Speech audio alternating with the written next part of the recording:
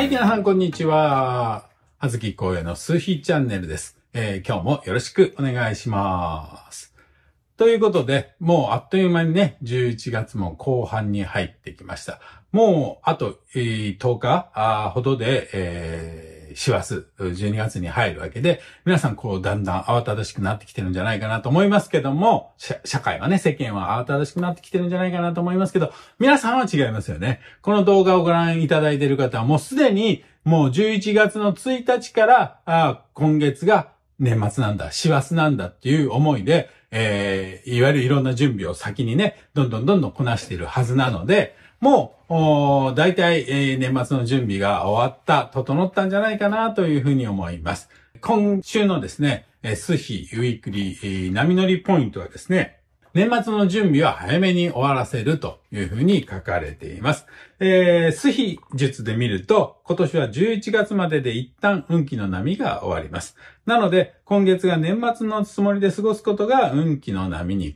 乗るコツ。はい。これずっと今月に入ってからお伝えしていることですね。大掃除やお片付け、年末のご挨拶などはできるだけ今月中に済ませておきましょう。はい。相手がどう思うかはもう相手の問題なんで、それはもうほっときましょう。でも、こっちはもう年末のつもりで、今年も一年お世話になりましたって言っちゃえばいいんですよ。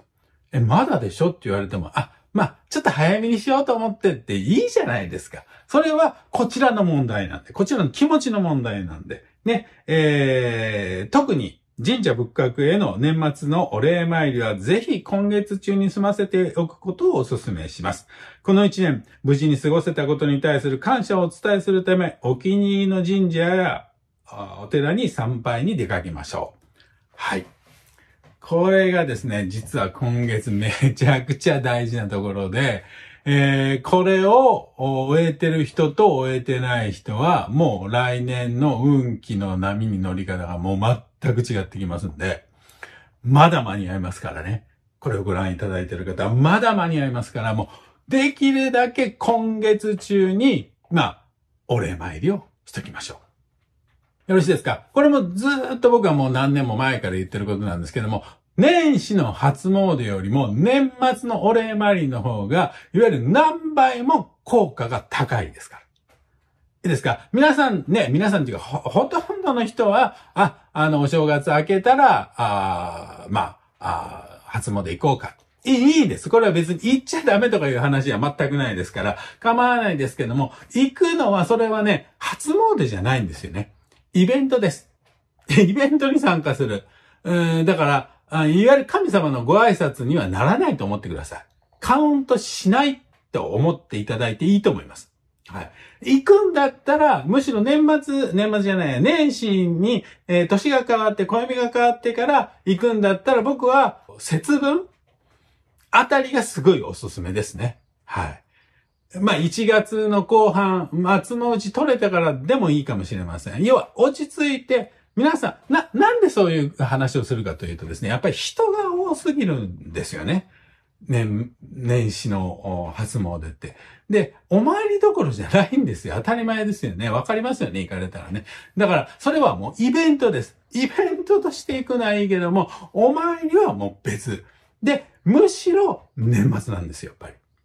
で、これも僕はずっとこう、もう本当に10年以上言い続けてきたんで、もう最近年末のお礼参りすんごい人が増えて、わーとかって思ってたんですけども、え、今年はですね、今月ですから、これはもう、はずきこうえさん知ってる人しか、この動画を見てる人しか、あるいはこの、えー、水手帳を持ってる人しか、多分、わからない、知らないことだと思うんで、これはやっぱポイントめちゃくちゃ高いんですよ。今月中にお礼参りを済ましておく。これが来年の運気の波に乗る、もう最大のポイントだと言っても過言ではありません。よろしいですか？だから、まあ、お礼参りっていうのはね、まあ、日本全国いろいろありますけど、まあ、基本は自分のうぐすなさんとか、あるいは鎮守神社とかね、自分の一番ご縁のあるところで構わないんですけども、あの、ここぞというところにですね、ちょっと改まって、えー今日はあ一年間のお礼をお伝えするために、えー参上させていただきました。どうぞよろしくお願いします。というふうに、えー丁寧に、えーご挨拶して、えー一年間無事に過ごせました。嬉しく楽しく幸せに過ごしましたことを、過ごせましたことを心より感謝いたします。来るべき新しい年もまた嬉しく楽しく幸せに過ごせますことを感謝いたします。っていうような感じでお祈りするわけですね。で、もう一つぜひやっておいてほしいのが、やっぱお賽銭。もしくは、まあ、うんと、神社にお金を落とすという意味では、お札買ったりとかですね。でもいいかもしれません。で、お礼ですからね、わかりますか？お礼を言いに行ってんのに、手ぶらはないでしょって話なんですよ。いや、神様は別に手ぶらでいいんですよ。神様は別にお金が欲しいとかいうのはないですから、でも、それを運営してくれてる、そこを守ってくださる神社さんは、やっぱりお金が必要だから、そこはお金落としてください。はい。ね。で、その一番いい落とし方っていうのは基本的にお賽銭だと思うんですよね。別に何も見返りがありませんから、どうぞお納めくださいって。で、お礼ですからね。わかりますよね。お礼を伝えに行ってんのにありがとうございますって言ってんのに、こうお、金投げてどうすんですかって話です。もらう側の立場になって考えてみてください。わかりますよね。あの、お礼を言いに来てんのに1年間お世話になりました。ありがとうございます。小銭じゃらじゃらって。え、それお礼になると思います？皆さん、こう、もらう側になってみてください。頭下げて、ありがとうございますって言ってんのに、あの、小銭バラバラってこう、投げられるんですよ、こっち側に。いやいやいやいやいや、それはないでしょうって感じです。ぜひ、お納めくださいですよね。で、その時、裸で持ってきます？目上の方とかお世話になってか、てる方にですよ、ありがとうございますって頭下げに行くのに、え、裸で持っていく人います？って感じじゃないですか。あの、実際のお札をね。さあ、当然やっぱりこう封筒に入れて名前も書いて、お礼とか感謝とか、ありがとうございますとか書いて、どうぞお納めくださいってやるでしょ？全く一緒なんです、それ。これができてるかできてないかで、本当に運気の波に乗り方が全く違ってきますんで、ぜひぜひ僕はお勧めしたいな。それも今月中です。11月中にぜひ行ってくださいっていうのをですね、ぜひぜひ、えー、お勧めしたいなというふうに思います。で、これと並行して同時にやっていただきたいのがですね、今年これまでを振り返ってみて印象に残っている出来事、重大ニュースを挙げてみましょう。個人的なことと社会的なことに分けて書き出してみると今年がどんな年だったのかがより明確になるはずです。すでに時代は大きく変わりました。はっきり言って、もう古い形の年末年始と同じスタイルで過ごす必要はありません。年末だからに問われないこと、そういう意味でそういう意味でも一足先に意識の上で、ここで年末を終わらせていくことはとても大事になるので、ぜひトライしましょう。ということですね。今年の重大ニュースも、これもぜひね、えー、ピックアップしてみてください。あなたにとっての重大ニュース何ですか？そして、この1年間振り返って、社会的なことで最も印象に残っていることは何ですか？っていうようなことですね。まあ、あの、僕もいろいろもちろんあるんですけども、やっぱり社会的なことを見るとね、えー、まあ、戦争が拡大してるっていうのが、まあ、やはり一番懸念されるところかなというふうに思いますよね。ね、あの、まあ、本当に好きな方っていうか、それ、そうしたい方、きっといらっしゃらないと僕は思ってるんですけども、なぜそういう仕組みになってしまってるのかっていうのは、やっぱりもう一度本当に一人ずつが考えること。僕はずっと言ってるんですけど、世界平和あを望むのなら、まずは自分平和からなんですよね。まあ、これができてないのは世界平和とかありえないです。で、自分が、一人一人が自分の平和に責任を持ったら、一瞬で平和になるんですよ。そうですね。自分が平和な状態、平安な状態、平穏な状態に整っていたら、争うことなんて何もないですから、争うはずがないですよね。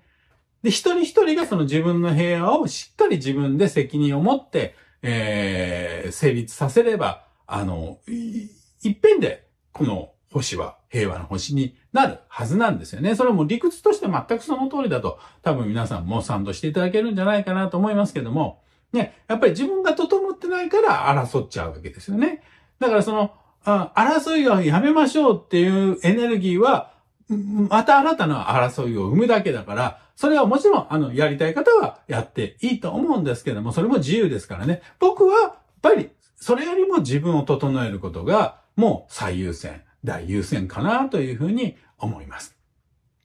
で、ちょっと話はまた戻りますけども、その年末のね、お礼参りなんですけども、これ、どこへ行くかもすんごい大事で、実はですね、これと次の、うんと、当時の日とかものすごいリンクしてくるんですよ。なぜなら、もう12月は新年なんですよ。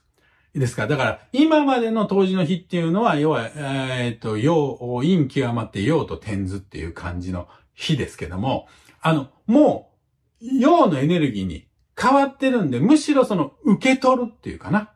陽のエネルギーをどれだけ受け取るかっていうのが多分今年の当時の日のポイントになるんじゃないかなと思います。で、それを踏まえてですね、実はもう、はずき公営的にはですね、11月にちゃんとお礼参り行ってるんですよ。で、どこ行ってるかっていうのはまた、あの、改めてね、えー、お伝えしたいと思いますけど、これもすんごい重要で、これも来年のもう大テーマですね。えー、神社の、まあ、神様の役割も、もうゴロッと転換するっていうポイントが来年やってきそうなので、それを踏まえて、それを先取りして、まあ、はずき声は、あお礼参り行っておりますんで、まあ、11月、はずきさんが一体どこにお礼参りに行ったのかっていうのはですね、ちょっと調べていただくとわかるんじゃないかな。わからないかな。あの、基本的にはですね、月の会っていう、まあ僕会員組織やってるんですけども、その月の会の会員さんと一緒にですね、まあ、いわゆるおお忍びでっていうか、あその会員さん限定で、えー、実は、あそことここと、がっつり行ってきたので、これがですね、もう来年の僕は神社のゴールデンルートになるというふうに思ってますので、まあ、そのあたりもね、また改めて、えー、ゆっくりお話できたらなというふうに思います。皆さん、特に、えー、皆さんはね、それぞれのご自身のご縁のある神社でもちろん構いません。もちろん構いませんけど、まあ、まあ、僕、僕の場合はね、やっぱり日本全体っていうことで、えー、全体、えー、日本全国にですね、あの、まあ、視聴者の方とか読者の方とかいらっしゃるので、その全体を考えると、やっぱりここでしょうっていうのが、まあ、あるんですよね。その神社が、まあ、こう、これから、まあ、新しい時代、特に2024年のキーになるなっていう神社がありますので、そこにですね、参拝していただくことによって、2024年バージョンの新しい豊かさの波動というか、意識というかですね、えー、周波数を見つけることができると僕は思いますので、そのあたりもね、また改めてお話したいと思いますので、よろしくお願いします。ということで、今日はまあ2点お伝えしたんですけども、1つはもう年末だと思って、お礼参りを近くの神社、皆さんのお気に入りの神社に、もうぜひ今月中にしといてくださいねっていうことが1つ。もう1つは、私にとって、ね、えー、今年を振り返って2023年の重大ニュースは一体何だったか。それが実は来年に非常につながる大きなヒントになってるはずですから、そこも振り返っていただければというふうに思います。はいえー、今日はその2点をお伝えしておきたいと思います。参考にしていただければ幸いです。それではまた、どうも